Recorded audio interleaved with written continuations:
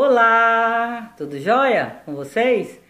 É, hoje eu vim falar sobre adolescência, adolescência e criança, né? Geralmente criança, quando a gente é criança, a gente promete tanta coisa para as mães da gente, né? Para os pais, aliás, né? Ah, falando nisso, meu batom, vocês gostaram? Esse batom aqui foi roubado, mas não foi na loja não, hein, gente? Não me, não, não me entenda mal, não. Foi na casa da minha filha que eu olhei lá, gostei, peguei. Mas voltando ao assunto. Quando os filhos da gente é criança, eles prometem tanta coisa pra gente, né? Chega perto da gente e promete que vai é, dar. O primeiro trabalho deles vai ser para dar uma casa, um carro a gente.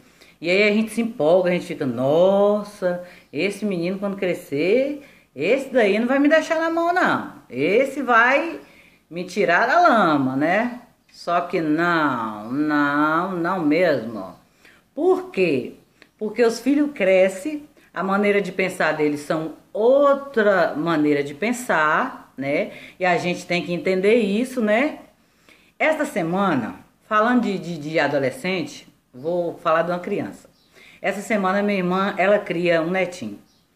Ele assistiu um filme, não sei se não sei o nome do filme não, mas ele assistiu um filme que este filme parece que pega o gatinho, as crianças, não sei se é um adulto, pega o gatinho e pega a moeda e coloca dentro do fiofó do gatinho. Tá bom. Quando ela viu, meu filho, o que estava acontecendo? O menino pegou o gato e estava com a bundinha do gato para cima e estava com três moedas de um real. Onde ele colocar? Nem falo para vocês onde ia colocar. Aí ela deu um grito, né? Pegou ele, tomou e não deixou fazer. Resumindo, criança, adolescente, tudo a mesma coisa, né? O importante é ser feliz, é amar seus filhos, né? E cada, cada adolescente é diferente um do outro, nunca eles são iguais, né?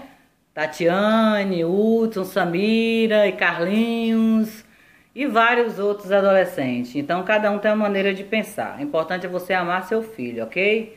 Então, se gostou desse vídeo, clique em gostei, dá um joinha lá pra mim, beleza? Tchau, tchau!